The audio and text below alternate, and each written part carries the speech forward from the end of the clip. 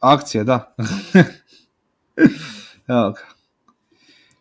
Da, da imamo ono što sam opisao u napadu Partizana, ovdje ta, ta borba za skok, zapravo nije ni uhvaćen skok od strane visokih igrača Reala, već je samo lopta došla do NDI-a, pas ide preko cijelog terena, Džanan Musa tu zakucava. Vrlo lagano, evo vidite ndi pas. Evo ga. I da, evo ga ovdje još jedna akcija Partizana, dobar šut iz kornera, ali ponovo je skok na strani Reala.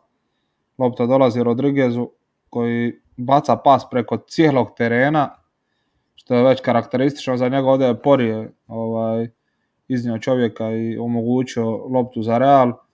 I zapravo ovo, su dva primjera koliko je, koliko je skok bitan za Real Madrid i za, i za, za pokretanje njihove tranzicije i, njihove, i, njihove, njihovog stila košarke. E, tu, tu, evo, samo sam čisto htio pokazati ta, ta dva primjera e, na koji način također i visoki igrači sudjeluju u, ajmo reći, u, u, u otvaranju tranzicije i hvatanja skoka u jednoj situaciji, u drugoj asistencijom. Iskreno od ja nisam očekivao ovakve stvari, ali čini se da i njegova nekakva ofanzivna uloga raste ove sezone i e, u par navrata je pokazao da može raširiti reket par, u par situacija i to ćemo pokazati u nekim budućim podcastima jako dobro, e, jako se dobro uključio, uključio ovaj, kao treći u pick and roll e, u trčavanju uz Čaunu ili, ili bi preko Tavaresa, Tavaresovog short rolla ovaj, došao do, doš, ovaj, iz, iz Tavaresovog short rolla bi pas išao korner i